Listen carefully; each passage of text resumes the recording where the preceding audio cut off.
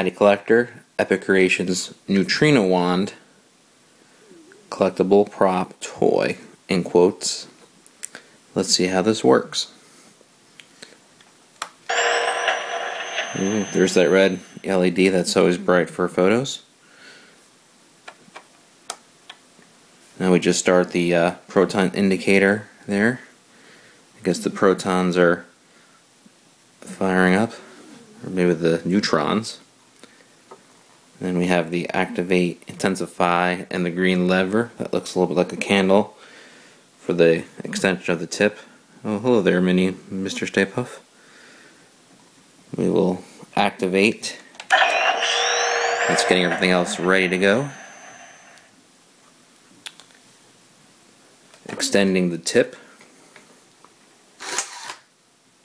Stay Puft looks like he's ready to surrender right now.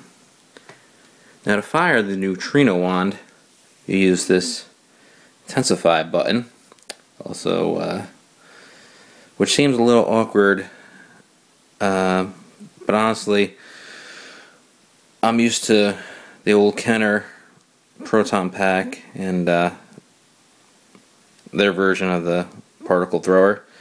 Now my screen sort of used proton pack and neutrino wand also have the same quote unquote trigger button. It's really not that hard to get used to like I wrote in my review.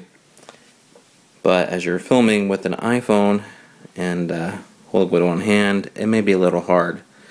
So let's see what I can do here, and then we'll get some close-ups on the uh, the actual particle streams.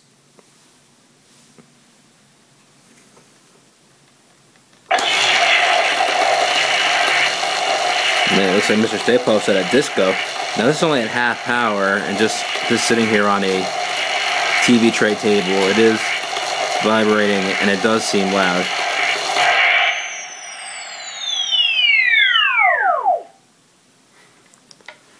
Let's see if we can get a close up on those streams there.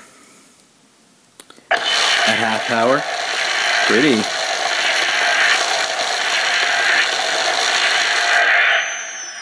Now,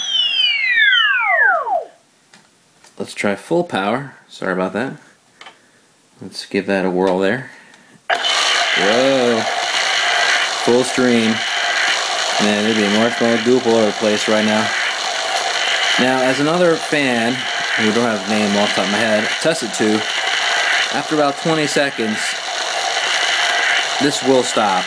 I actually timed it about, I don't know, 23 or so the actual shutdown occurring, which you just see in the video, has happened. Let's just get a little shot here of the wand as I rotate it slowly back into frame here, or, you know, as the whole thing is in frame. And there you go. The Matty Collector Epic Creations Neutrino Wand on sale until they run out. EctoContainment.com